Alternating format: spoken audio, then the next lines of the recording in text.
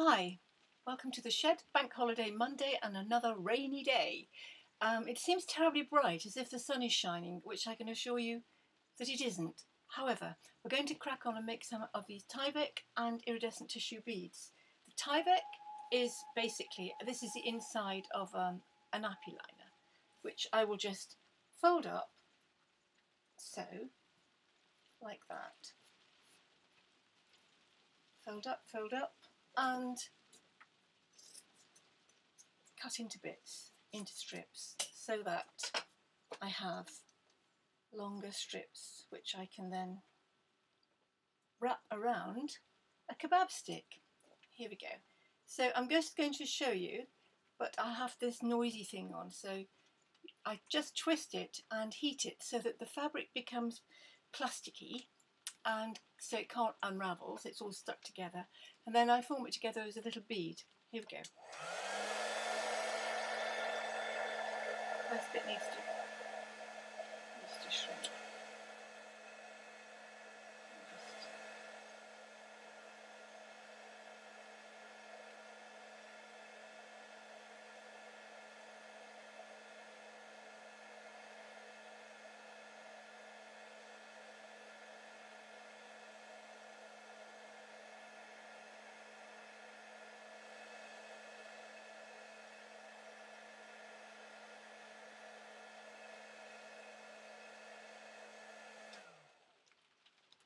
A bead.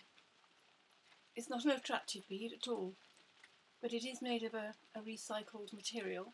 If it feels a little bit squidgy, and it does there, just heat it again.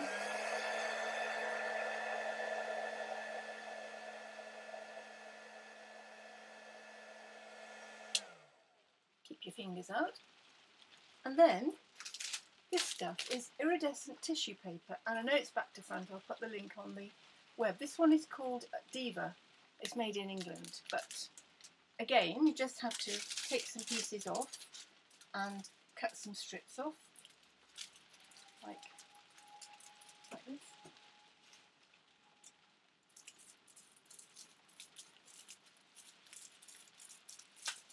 Just a out of the way.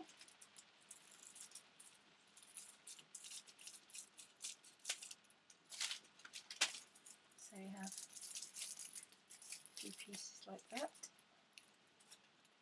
And then taking the bead, wrap it around, twist it so that it's quite firm, and then again, heat gun on, and same process.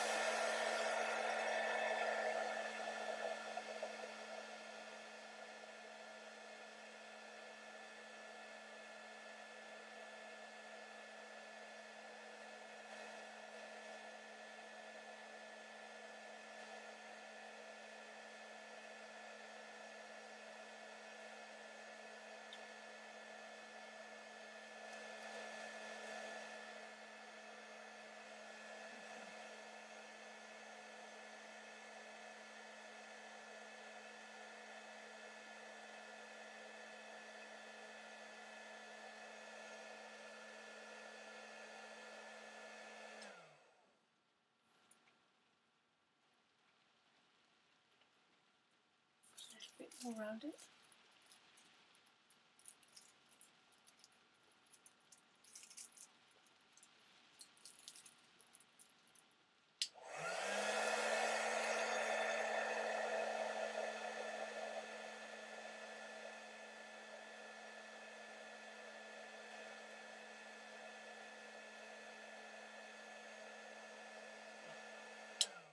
Haha.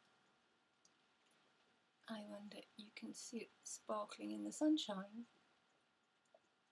So what I do is I I make up a lot. Just stick them in there. I have got a lot more. I've got these have already got the just the back on. And then these I've already put the iridescent tissue on. So they all it's a process. Generally speaking, I'd wait for a sunny day and do it outside with the doors open. Just they say that Tyvek isn't hasn't got fumes, but I'm one of those people who's incredibly sensitive to fumes, so that's the end of that little saga for now. Do that again. I wanted to show you what we did yesterday. I I went ahead and made a lot of these. So these are all the components for the necklaces and the bracelets that we talked about. And these are the ones at the other end all the tiny little bits to make into earrings. So I've made loads. They won't all be earrings, some of them can be made into necklaces. Pop those back into the cabinet. I did make quite a few out of um, the poppy seed head too and they've turned out really really well. Some of them I have strengthened. These are the ones that I did with the end of the fir cone and I strengthened them with the Mod-Rock. So the Mod-Rock goes really hard on the back like that. It's good. And they just slide off the glass really easily and give a smooth surface. So these are all for lots of different paint techniques. Um, this is the same, I think, except with these ones, oh, not those. I've got some. Must be these. My copious cabinet. Yeah, these ones. Which are the same as these, but I've just put the Mod-Rock on the back as well, just to make sure that they have that extra bit of support. And then you know that they're not going to break, or not going to break very easily I suppose most things will break, won't they? And then I also did a whole tray of these little flat papery things and in the next tutorial I'll show you how I mix up the resin and put it on the back. Resin is a really important component in what I do and it's not something that you buy from the shop I buy it, um, it's epoxy resin, um, and I'm sure nowadays it's become quite popular. I've been using resin for about 15 years now, and it started because I was in the bank and I noticed the bank people had these little name tabs on, and it, they seemed to be covered in resin, so I was thinking about it.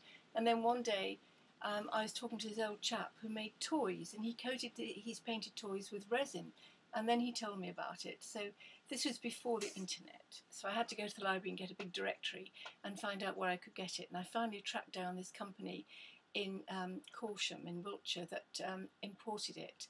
And I drove and saw them, and they said they would sell me small amounts so I could experiment, and it worked a treat. So then afterwards, they started supplying me, you know, decanting a little bit out, like a litre of each or something, and that meant that I could develop my jewellery. And nowadays it's fantastic because you go on the internet and there's little bits of kind of um, resin, different types, lots and lots of different types available in small quantities. So you don't have that problem that I had. So I'll show you what I do anyhow, and you can adapt it and go and buy something similar if you like. And right now, I'm going to take the dog for a walk. Okay, bye.